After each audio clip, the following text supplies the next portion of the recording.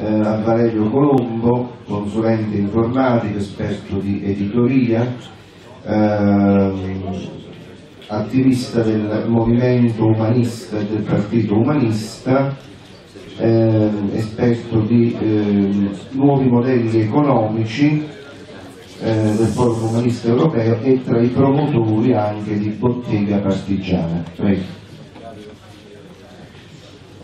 Innanzitutto a nome di Bottega Partigiana voglio veramente ringraziare l'MPL per averci permesso di essere copromotore di questo convegno. E voglio anche sottolineare una cosa che sto percependo, che oltre al, alla grande quantità di informazioni, di punti di vista, di proposte che sono state fatte, si percepisce in questi giorni anche un'atmosfera fraterna, secondo me, veramente, di confronto a volte anche abbastanza aspro nei contenuti, ma con un tono emotivo, fraterno. E penso che questo sia un elemento che se si vuole lanciare un progetto comune di trasformazione in questo paese, aggregando altre forze, sia un, ingrediente fondamentale.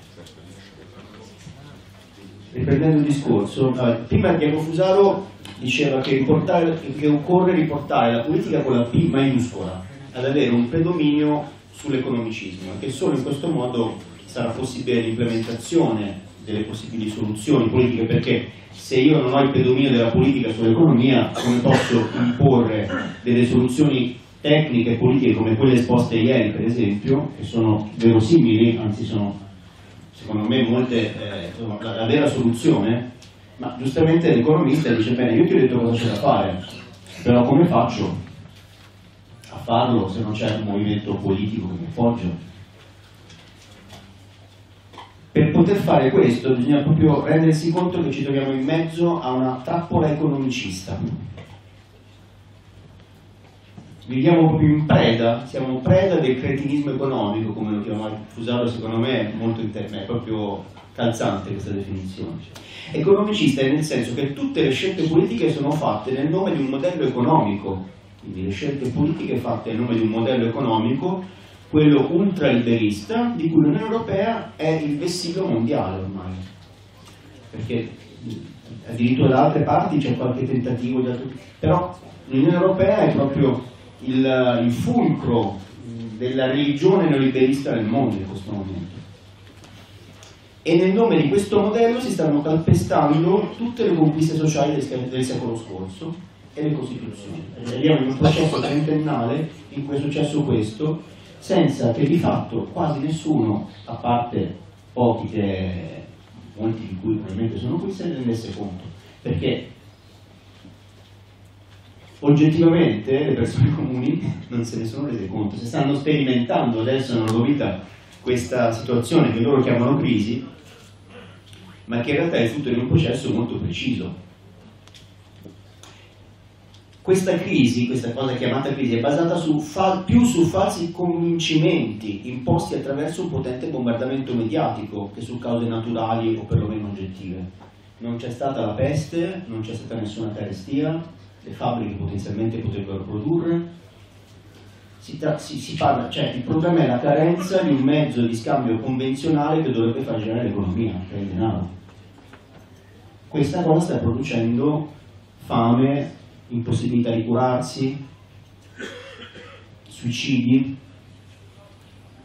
umiliazioni di interi paesi, perché per esempio parlando della Grecia e anche dell'Italia, c'è proprio l'umiliazione di una storia culturale, di una storia di un popolo, di popoli che con la loro tradizione, con la loro storia che si trovano a essere chiamati pigs.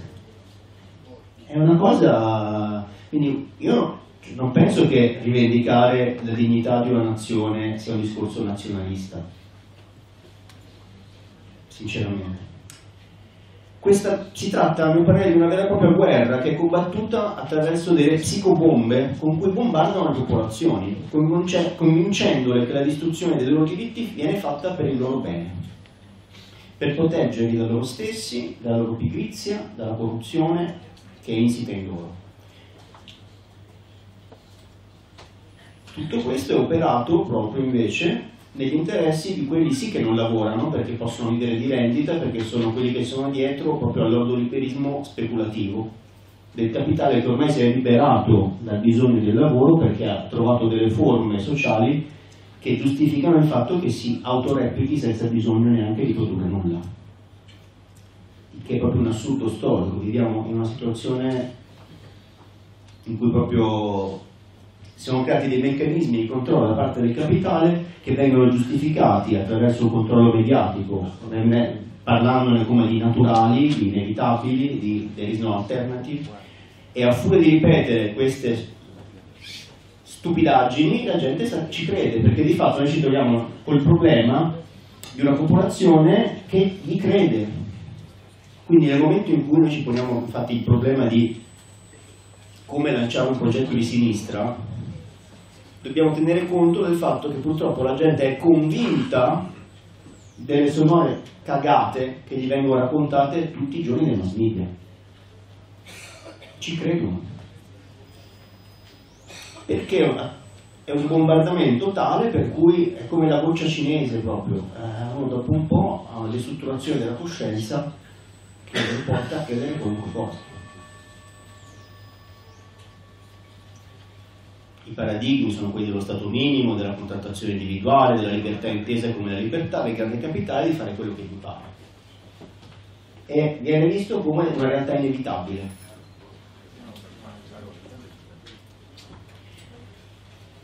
Di fronte, per dare una risposta a questa realtà apparentemente inevitabile, nella tavola rotonda di ieri, per esempio, sono emerse diverse visioni di nuovi modelli di società, di stampo socialista, io direi anche di stampo umanista, che però è compatibile quel punto di vista, perché poi c'è anche il problema delle parole, anche come diceva prima. Il, il tema è capire cosa intendiamo.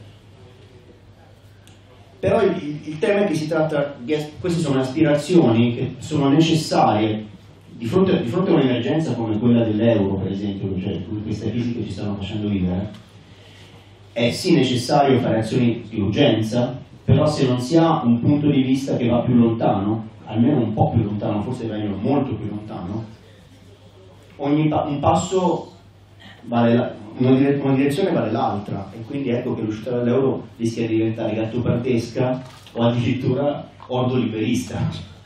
Quindi è molto importante capire insieme verso dove vogliamo andare. È proprio questo il senso del costruire un'uscita dall'euro a sinistra perché oggi ci troviamo nel mezzo di una crisi che ha bisogno di risposte inedite per poterne uscire.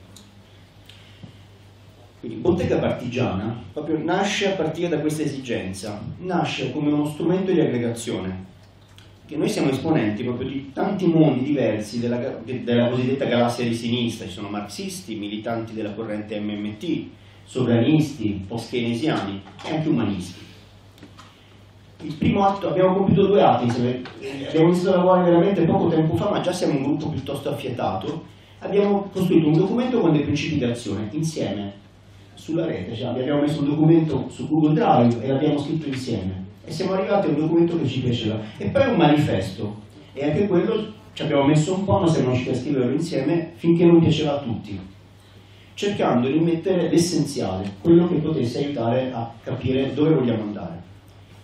Il titolo, vi dico solo il titolo perché poi il manifesto si può trovare sul sito. La dignità umana non è in vendita, i beni pubblici e i diritti non sono in vendita. Il frame è quello di ripristinare la sovranità costituzionale. Sono punti in cui penso che chiunque di noi è, è d'accordo. Però l'obiettivo non è quello di, fare, di, fare sotto, di sottomettere gli altri a un manifesto, ma quello di proporlo come strumento di reazione in modo tale che ognuno possa mantenere la sua identità. E quindi per esempio l'appello di MPL a promuovere questo convegno che ha lo stesso spirito è stato accolto con veramente con entusiasmo e ci è stato permesso anche di collaborare al alla bozza del documento politico proprio per aiutare a renderlo più comprensibile e anche più essenziale possibile perché avrete, leggendo avrete osservato che è ridotto al minimo, proprio perché l'obiettivo è quello di costruirlo insieme con le forze che ci staranno. L'obiettivo è anche quello di trovare delle forme di comunicazione che permettano a oltre alle forze già attive, già strutturate, anche altri tipi di militanti, intellettuali, artisti e semplici cittadini che si, si, riescono a riconoscersi in alcuni punti comuni, ma non in un'etichetta che magari non comprendono, che non fa parte della sua storia. Per esempio, non è un caso il termine bottega, perché io sono d'accordo, io sono una partita IVA, ma non mi sento un capitalista, mi sento un proletario nei termini della vecchia che arrivo da lì. Oggettivamente, quando un po' di anni fa si è detto che bisogna rilanciare la lotta operaia, è vero che si intende anche le partite IVA, eccetera, ma le partite IVA non lo capiscono questo. Se si parla solo di lotta operaia, la classe operaia è un'immagine escludente, bisogna trovare delle forme che includano, perché non possiamo andare sempre con questi titoli, dico questo mi tengo importante. Questo è importante, è un tema di linguaggio, ma visto che, che la battaglia è combattuta nelle coscienze delle persone con le psicobombe, il linguaggio è importante. E partigiana perché noi vogliamo fare una vera resistenza. Pensiamo che oggi siamo in una guerra di occupazione e che occorre una resistenza che va fatta proprio nella testa, a partire da ognuno, perché uno accende la televisione e dopo dieci minuti deve fare il partigiano per liberare se stesso. Eh, è così, cioè, è anche poi il torno. Eh, mia madre è di sinistra, a volte devo proprio dare degli shock dicendo mamma guarda tu sei di sinistra, cosa stai dicendo? Eh, eh, eh dieci minuti di ballarò e uno ipnosi collettiva, ipnosi collettiva. Bisogna proprio aiutarsi, aiutarci a svegliarci dalle illusioni perché intere generazioni sono state cresciute con menzogne, appartengono a una generazione che è stata ingannata fin dalla nascita e che si è svegliata a 30 anni scoprendo che era tutto falso. E non è facile da accettare, eh? Quindi di vie concrete ne abbiamo viste tantissime, veramente c'è una ricchezza pazzesca e io proprio ringrazio anche gli economisti che hanno avuto il coraggio militante di sbilanciarsi ieri perché penso che sia veramente interessante. E rilancio infatti il, il fatto del, dell'appoggiare l'idea di lavorare su questa bozza di documento politico trasformandola in un vero progetto politico. Posso già preannunciare che oltre a Bottega Partigiana anche il Partito Umanista è interessato a questo processo. Ribadire il fatto anche che Bottega Partigiana si propone come strumento di lavoro, per esempio, io vorrei lanciare l'immagine, oltre al documento politico, di lavorare con le forze che ci stanno a un documento di sintesi degli atti di questo convegno, perché le trascrizioni sarebbero lunghissime, quindi studiare il convegno e fare un documento che faccia una sorta di mappa cognitiva di tutto quello che è stato detto, per aiutare chi non ha partecipato a, a comprenderlo e anche a chi ha partecipato a, avere una sintesi, è un lavoro che richiede è abbastanza impegnativo, quindi un subappello a chi vuole contattarci per, eh, per collaborare insieme. Finisco con una, con una citazione filmica.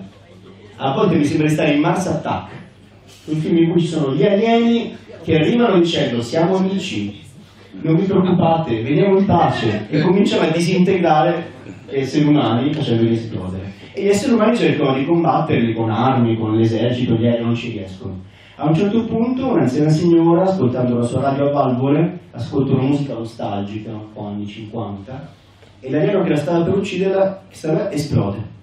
Ed ecco che l'umanità si salva diffondendo nel mondo attraverso eh, radio, radiodiffusione questa musica nostalgica che fa sparire gli alieni. Una musica suave, gentile, che però come li trasforma, in, trasforma questo incubo in nulla.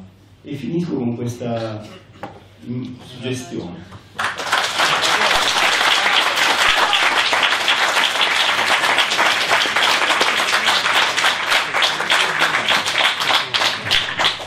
È l'inverso della fiaba del pifferaio Macci, no? Bene, prima di presentare eh, il prossimo intervento sul Marino Bariale, sì cercare di... Sì, tante cose da dire. Io vorrei iniziare proprio questo mio secondo intervento con una cosa un po' testimoniale. Io ho 42 anni e sono 24 anni che faccio politica, insomma, sono, faccio parte di una vecchia generazione pur facendo parte di questa nuova generazione che è stata fregata. Già nell'89-90 la forza politica di cui faccio parte vedeva molte delle cose che stanno succedendo. Quindi è un po' frustrante per me, è stato molto frustrante eh, questo ventennio per noi perché succedono delle cose, dicevo guardate che la grande finanza speculativa sta facendo questo, questo non succederà una cosa, crisi di sistema, attacco ai diritti, e tutta la sinistra che stava intorno ci ignorava completamente trattandoci appunto come una specie di elemento estraneo a voi, chi siete, siete una setta, siete poi alla fine è successo tutto quello che è successo e ci troviamo adesso delle macerie potendo dire che avevamo ragione. Però senza, come dire, non è una grande soddisfazione. Per fortuna riconosciamo altri che probabilmente in questo percorso dicevano cose molto simili, anche loro inascoltati in questi ultimi vent'anni. E questo potrebbe sembrare un discorso pessimista, ma per me non lo è perché così come in questi 20 anni sono riusciti a cambiare completamente, a distruggere un paradigma e a, dire, a proprio cambiare la vita delle persone, usando fondamentalmente tecniche di manipolazione mentale, perché di fatto la tecnica della rana bollita è questo, cioè non è che non hanno usato i fucili, non hanno, sono riusciti a a utilizzare e poi arriverò a spiegare cosa intendo esattamente per questo. Allo stesso modo cambiando un quadro di pensiero, un quadro di schema di tensioni addirittura, non è solo il pensiero, perché il pensiero arriva fino a un certo punto, poi c'è la tensione, quella che viene chiamata a volte la pancia, quello che mi fa, che mi fa paura, quello che io penso, vedi, quando per esempio faccio l'esempio dell'inflazione, no? la usano ogni volta che uno prova a dire alcune cose, usano la, la, minaccia della carriola per comprare il gelato questo, oppure proprio si tendono al punto che ti attaccano con una ferocia che nel talk show è giustificata, ma poi quando uno ne parla col vicino di casa riproduce la stessa ferocia, ti viene proprio una cosa di tensione, quindi è uno schema di tensione, non è solo un pensiero. Allora io penso che se si riuscisse veramente a identificare i nodi di, questi, di tutto questo e se si riuscisse a diffonderli, a spiegarli, a snodarli, snidarli e snudarli, le cose potrebbero cambiare abbastanza in fretta. Nel senso che si potrebbero produrre sorte di, una sorta di valanga sociale, forse con forme diverse da quelle che ci immaginiamo classicamente. Io tendenzialmente all'inizio mi immagino la gente che scende in piazza, che sicuramente è un aspetto però una valanga sociale può avvenire anche in altri modi, anche proprio con una forma di cambio di punto di vista, per cui alla fine la collettività smette di credere in certe cose e gli toglie il potere. Perché poi alla fine il potere della sovranità è dato dal fatto che uno crede in qualcosa, è uno schema di credenze, uno schema di tensione. Se la maggioranza smettesse di credere in certe cose, molto rapidamente si potrebbe, dare, si potrebbe avere un cambio sociale, sicuramente con degli scontri conflittivi, cioè non è che mi immagino una cosa proprio, ma si prego, ah, avete cambiato, ci saranno delle resistenze, che però se la maggioranza comincerà a pensare in un altro modo saranno come delle resistenze che potranno essere sconfitte. Dico tutto questo perché ritengo che sia veramente molto importante oggi concentrarsi su alcuni contenuti sia di tipo appunto ideologico sia anche esistenziale che possano aiutare a partire dal vissuto. Prima facevo l'esempio del vissuto della mia generazione, che vive un senso di ingiustizia, di tradimento, di, di assurdo. Si è trovata essere stata importata col bipolarismo e si è trovata in una società bipolare nel senso psicanalitico del termine, psichiatrico del termine. Allora, c'è bisogno di curare tutto questo. E quindi poi se la risposta è di fronte agli attacchi bisogna, cioè il Presidente della Repubblica bisogna difendere il bipolarismo. Cioè, perché? Cioè, ci sono delle cose che sono incomprensibili, sono, ma perché? E non te lo dicono, cioè perché non c'è un motivo. Allora, quindi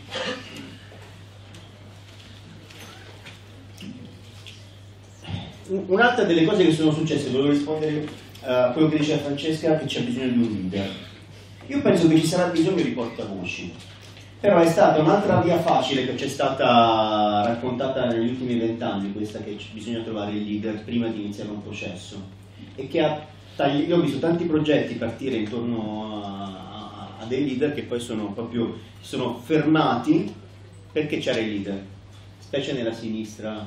Io penso che prima bisogna mettersi molto d'accordo, costruire un gruppo la... e imparare a lavorare in gruppo, che è diverso da e a quel punto da quel gruppo potranno uscire fuori dei portavoce che sapendo lavorare in gruppo potranno fare un'opera di liderismo sociale e meglio se più di uno perché oggi penso che quella sia un'altra cosa interessante se la gente vedesse che c'è un gruppo di persone che crede in un'altra cosa che sa lavorare in gruppo non per interessi personali, ma veramente perché è mossa da ideali e quella è una cosa che passa dallo schema di tensione, perché uno se ne accorge se uno sta parlando per fare carriera o perché crede in una cosa, è una cosa che passa attraverso canali umani.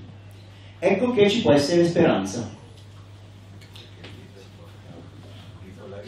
Il leader porta il liderismo non è una critica perché anche io penso che a un certo punto c'è bisogno di riferimenti umani anche perché appunto un'idea poi deve, deve incarnarsi. Però è molto, è molto, importante parlare di come arrivare a quello. Più che, più che sceglierlo costruirlo per esempio il leader. E...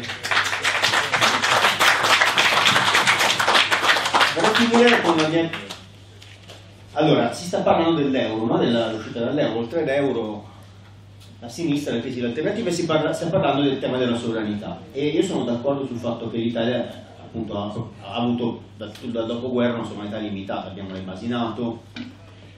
abbiamo, siamo comunque troppo importanti a livello geopolitico per essere lasciati a noi stessi, quindi siamo sempre stati orientati dai vari gruppi, cioè voglio dire, è, è evidente che nella politica italiana anche del periodo costituzionale, io direi che adesso siamo in un periodo post-costituzionale, nel senso che questa storia della Costituzione materiale, primo, la prima parte della Costituzione è vista come una sorta di, ma sì, degli idealisti, adesso... Comunque, dicendo questo, anche quella parte comunque aveva questa Costituzione come promessa, cioè c'è stata nel, sec nel secondo dopoguerra finalmente la promessa della democrazia rappresentativa come trasferimento della sovranità ai popoli come possibile applicazione della dichiarazione universale dei diritti dell'uomo. È stata una promessa che non è stata mantenuta, quindi io non parlerei di ripristino della sovranità popolare, ma parlerei di attuazione per la prima volta della sovranità popolare, perché non c'è mai stata finora, è stata promessa. Grande occasione, una grande occasione, perché questa, questa crisi, sia quella dell'euro che quella sistemica più grande, che dà l'inquadramento maggiore alla, alla guerra dell'euro, che, che è proprio un fenomeno particolare, molto importante nell'ottica di una evoluzione barra crisi di un capitalismo che infatti, come diceva ieri qualcuno, rischia di trasformarsi in un nuovo medioevo feudale. Del... Però detto questo, i momenti di transizione sono delle grandi occasioni per inserire degli elementi nuovi. E in particolare noi abbiamo una grande responsabilità che i greci e gli spagnoli non hanno. Noi viviamo in un paese che ha potenzialmente ancora la possibilità di ricattare, cioè prendendo posizioni forti, di far saltare tutto il capitalismo casino in questo momento. Perché abbiamo una massa critica che può mandare in crisi non solo l'Unione Europea, ma tutto il sistema capitalista per come è costruito non solo europeo, no, no, non solo europeo, anche quello internazionale. Per esempio, costruendo anche degli assi con i BRICS, l'Italia, un'Italia che veramente fosse mossa da un governo anticapitalista e per il popolo, per il popolo italiano, che sicuro perché ha, cioè, l'identità nazionale per me esiste, anche un'ottica, io sono per la nazione umana universale e sono anche per il decentramento, quindi l'aspetto nazionale è uno degli aspetti dei livelli della, della costruzione della nazione umana universale Ecco che l'Italia ha la massa critica, ancora economica in un mondo economicista, per, per, per, lanciare, per potenziare il cambiamento a livello planetario. È uno di quei paesi che ancora, perché ci, ci hanno dato la notizia del fatto che siamo stati superati dalla Russia mh, nella scala dei grandi paesi, dei PIL. Poi dalla Russia, cioè noi siamo un paese di 60 milioni di abitanti che ha comunque ancora un PIL, nonostante tutto, come diceva ieri Dino, nonostante tutto siamo ancora l'ottava la nona potenza economica del mondo, di cui non possono non tenere conto. Questo è il motivo per cui si accaniscono con, particolarmente su di noi con i vice, vari viceré eh, post-berlusconiani, cercando di controllarci in ogni modo, però questa è anche proprio cioè, la responsabilità che noi abbiamo in un progetto che punti al cambiamento per la nostra nazione, che potrebbe avere delle conseguenze importantissime per i fratelli greci, per gli spagnoli, ma anche proprio per un processo internazionale.